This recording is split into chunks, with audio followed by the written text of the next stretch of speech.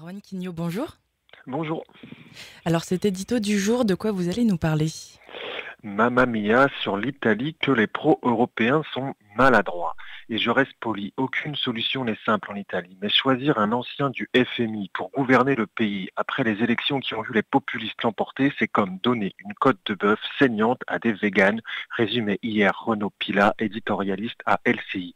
Il a raison, en Italie, les pro-européens font une erreur magistrale et ils risquent fort de le payer cher. On ne joue pas avec l'orgueil d'un peuple. À ce sujet, les, les Gunther Oettinger et autres Bruno Le Maire seraient mieux inspirés de changer rapidement de ton.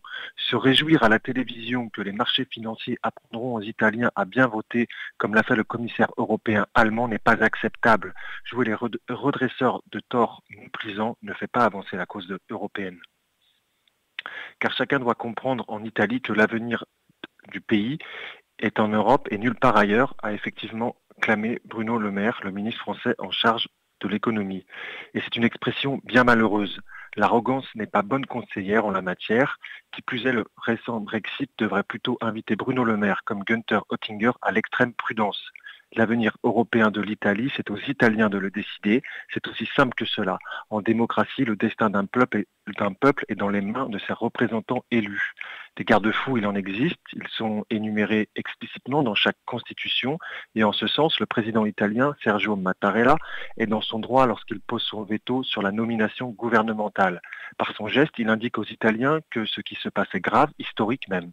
Nommer au poste stratégique de l'économie un europhobe assumé est un choix qui ne peut être débattu que clairement devant l'opinion publique, ce qui n'a pas été fait limpidement lors de la dernière élection présidentielle italienne. Il demande donc aux Italiens de bien réfléchir et de décider en conscience si oui ou non l'avenir du pays est dans l'euro et l'Union européenne. Faisons confiance aux Italiens. Mais dire que tout est positif, que tout serait à jeter dans l'Union européenne, c'est aux Italiens, les Italiens vont le dire, les difficultés de l'Italie sont connues, l'inégalité territoriale entre son sud et les richesses du nord du pays n'ont pas été réellement traitées, elles persistent depuis un siècle déjà, directement exposée par sa situation géographique aux défis migratoires venus de Libye, où le chaos persiste pose aussi un énorme défi pour tous les pays membre ou non de l'Union européenne. Sur ces deux sujets, l'Union européenne va, va, devoir réfléchir et trouver des solutions.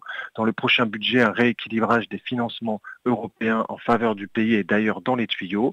L'Europe est consciente qu'en élargissant ses frontières à l'Est en 2004, elle a un peu sous-estimé les inégalités persistantes à l'intérieur même des pays fondateurs. Mais quitter l'Europe ne résoudra pas tout. Les problèmes italiens c'est la corruption, c'est la dette accumulée au fil des années, et ce n'est pas l'Europe. La leçon politique du Brexit est à ce sujet éclairante. Nous avons même appris ces jours-ci que le gouvernement britannique envisageait de repousser le Brexit à 2023. Excusez le retard, 2023 c'est sept ans après le référendum de 2016 que l'Angleterre, berceau de l'euroscepticisme, riche de sa city financière, non membre de la zone Schengen, et n'appartenant pas davantage à la zone euro et toutes les difficultés du monde à quitter l'Union européenne en dit long sur les complexités des chemins choisis en solitaire. Merci. Oui. Allez-y, pardon. Non, non.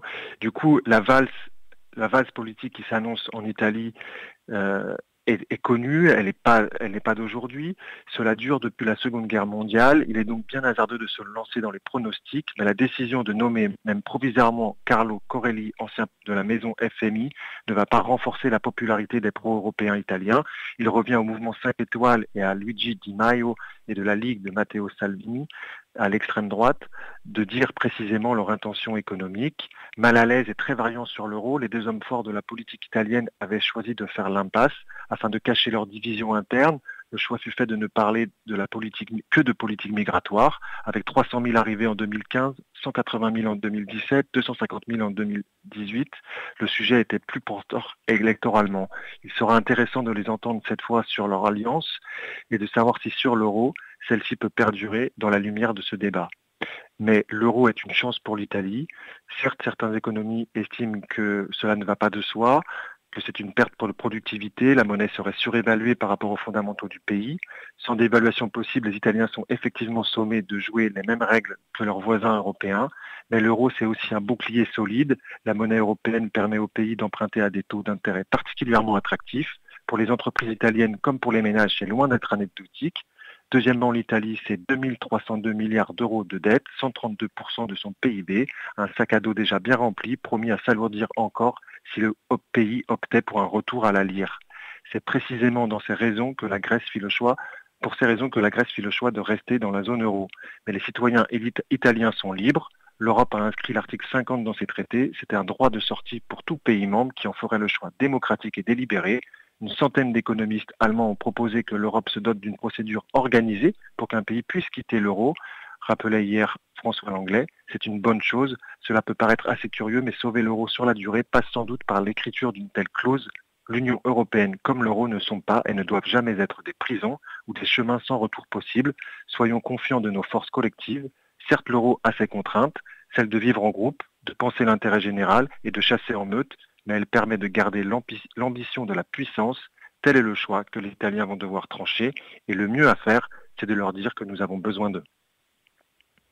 Merci Erwan Quignot. On vous retrouve la semaine prochaine pour votre édito. À bientôt.